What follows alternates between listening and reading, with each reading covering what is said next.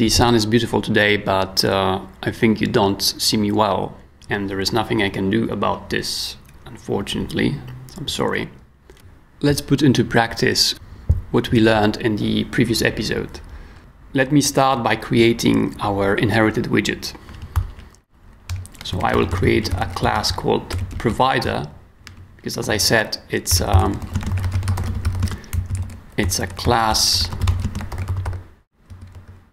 that is used to provide data to other widgets down the widget tree. We are extending inherited widget like so, and now we have to override one method.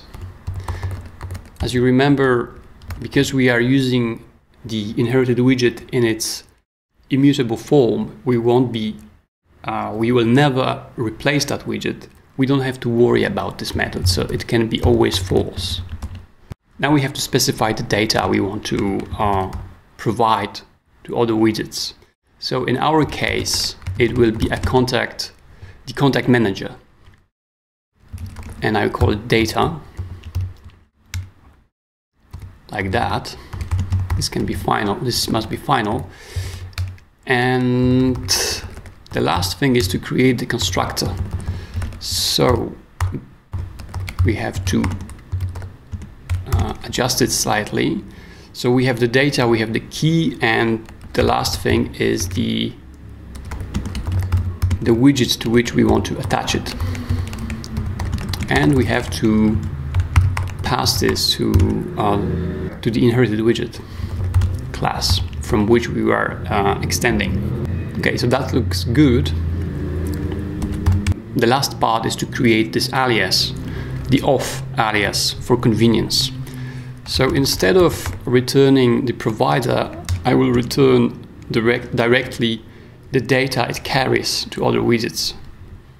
Because I'm not really interested in, in the whole instance, I'm only interested in the data. So this off method can return the data directly.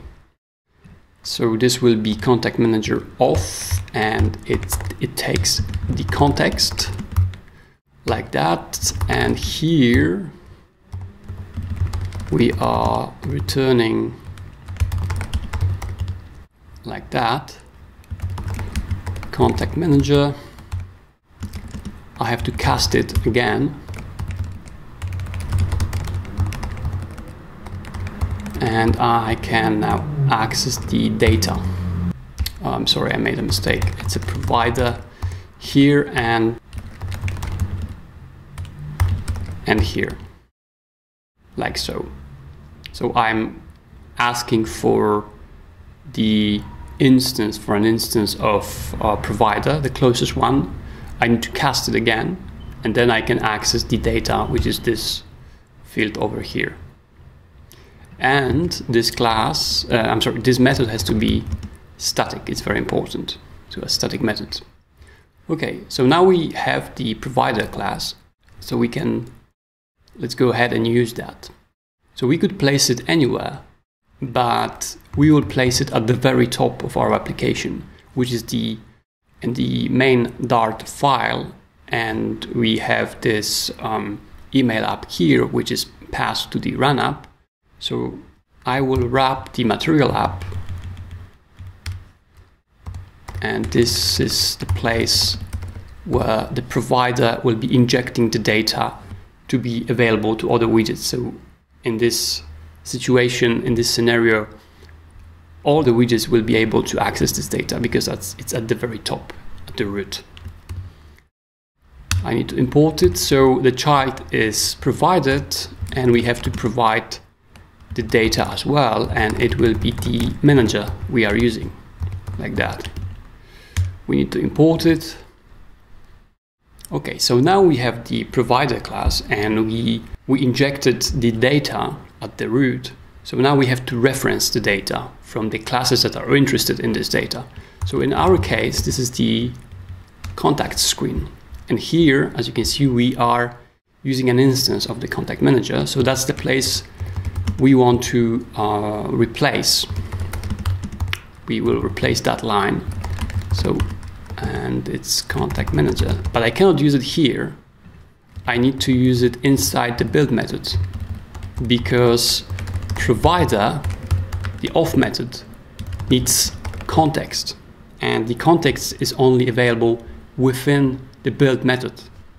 So now, like that, I can access uh, the data and I can remove that line.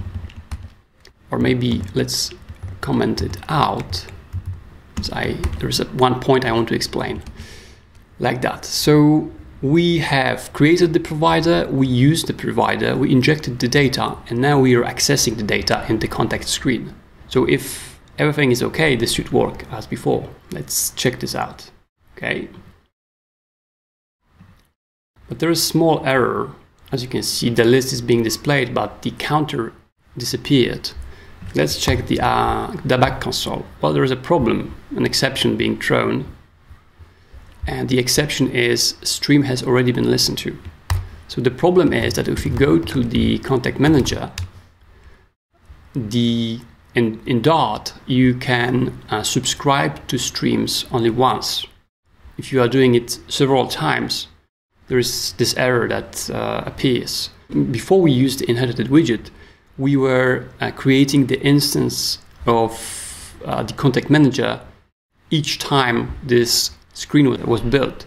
So we were recreating the streams each time, and the, the streams were new, and we were subscribing to the new stream. So we were always subscribing once to the stream. Now, because the contact manager is being created, instantiated here, and the main class, and it's instantiated only once during the lifetime of our application, um, the streams are not being recreated.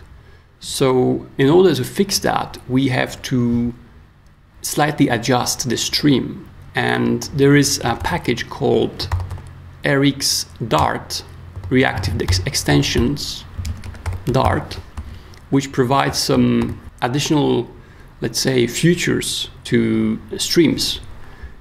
And we will be using this package more in the future.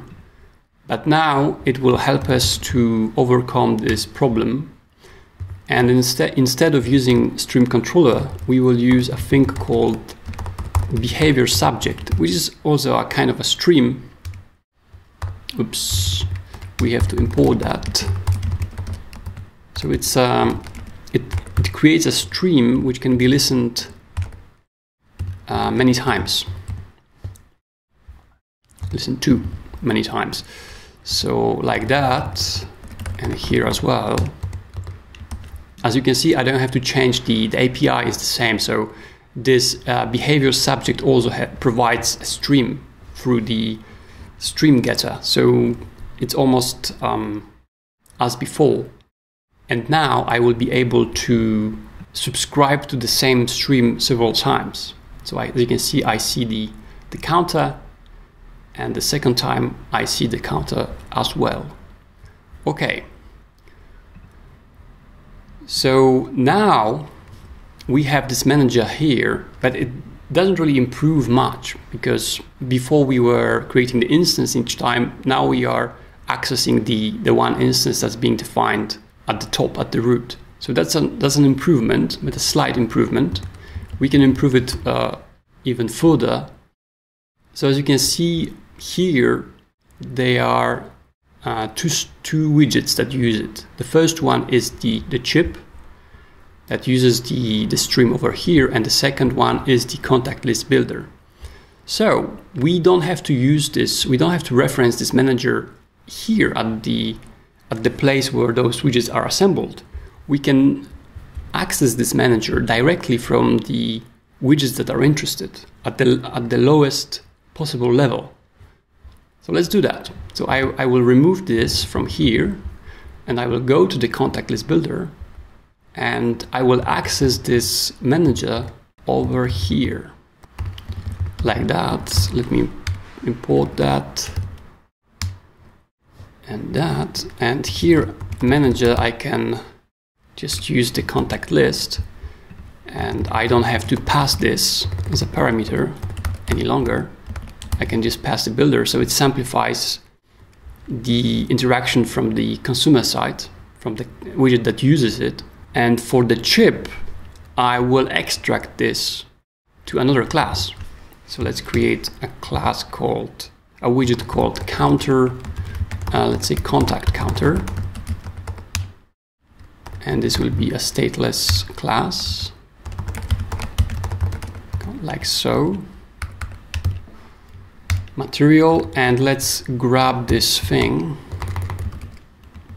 and let's put it here. Like that. Let's grab the this this line to reference the manager directly uh, from this uh, widget. I need to import that and that. Fix here and now I have to just use this here. So it's uh, contact counter and import it. Okay, I don't have to pass this. And the same thing I can do for the search. So let me grab this line and let's access it directly in the here.